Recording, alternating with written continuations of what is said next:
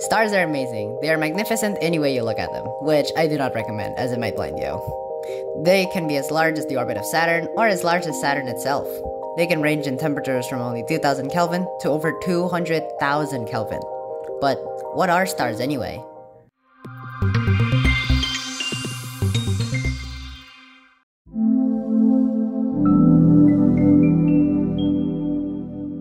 Contrary to popular belief, stars are not large balls of fire. So, something else must be powering these giant furnaces. If we look deep inside the core of a star, we'd find the very process that keeps these stars running nuclear fusion. Nuclear fusion is a process where atoms are being smashed into each other with so much power that they basically turn into new elements. This process produces a lot of heat and energy, which pushes against the force of gravity. This creates a balance between the force of gravity trying to crush the star into a black hole and the energy of nuclear fusion trying to blow the star into smithereens. Now that we've learned the basics of a star, let's get to the main part of the video.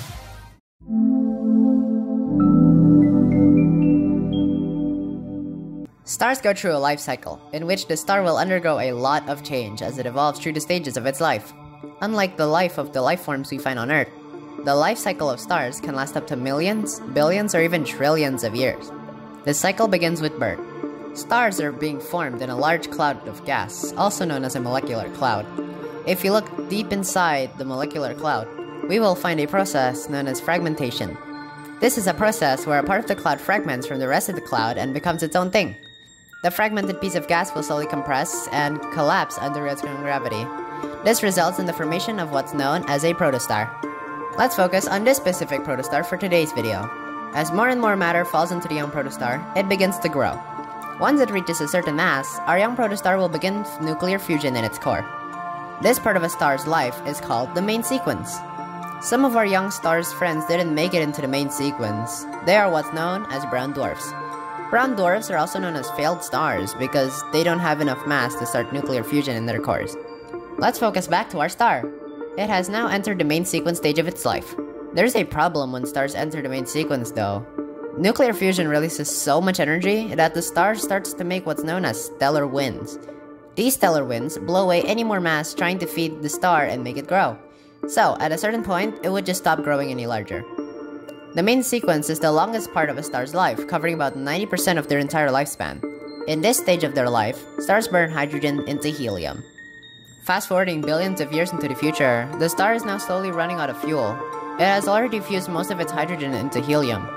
So, as an act of desperation, the star starts to burn the helium. But there's a slight problem with burning helium. It requires more heat and more pressure to do the helium fusion compared to doing hydrogen fusion. So, gravity took over for a while and the star contracts into a smaller size than it was before. But the contraction causes the helium atoms to be able to fuse all of a sudden. This sudden helium fusion causes the star to balloon in size to hundreds of times its original size. It is now in its red giant phase. Because the star is so much larger, the heat on its surface is distributed over a much larger area, causing the temperature of the star to cool down and making the star shine with a redder hue, hence the name red giant. One day, our sun will enter this phase and burn the inner planets to a crisp. The death of a star depends on its mass. Higher mass stars burn heavier and heavier elements in their core, the process goes like this. Helium turns into carbon. Carbon fuses into nitrogen. Nitrogen fuses into oxygen. Oxygen burns to neon. Neon burns into silicon. And silicon fuses to iron. Iron is nuclear ash. Fusing it into heavier elements require more energy than it produces. So, the star implodes in on itself at a quarter of the speed of light and produces a huge boom we know as a supernova. These supernovas will push the sparse gas from the interstellar medium into a wall of dense gas. This wall of dense gas will then expand for tens of thousands of years and eventually disperse its substance back into the galaxy. Low mass stars like our Sun don't go supernova when they run out of time. Instead, they die by releasing half their mass in strong stellar winds. This results in the formation of what's known as a planetary nebula.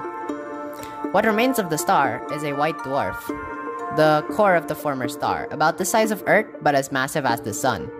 They are made of the leftover nuclei from the former star in a plasma state. White dwarfs are pretty interesting, so they'll be a topic for another video. But now, here is the last stage of a star's life the rotting of its corpse. White dwarfs glow not through nuclear fusion, but through radiating what little heat they have left. Radiating this heat takes a really long time as there really isn't a medium in a vacuum for the heat to spread. But after quadrillions of years, they will run out of heat eventually and turn into a black dwarf. Black dwarfs do not radiate any heat of their own and are as cold as the space around them, which by now would have cooled down to near absolute zero due to the expansion of the universe. So, there you have it, the life cycle of stars. Stars are amazing any way you look at them. Their range of sizes, their brilliant colors, and their life from birth to death always amazes me. I hope you enjoyed today's video. I'll see you next time! And remember, you're a star.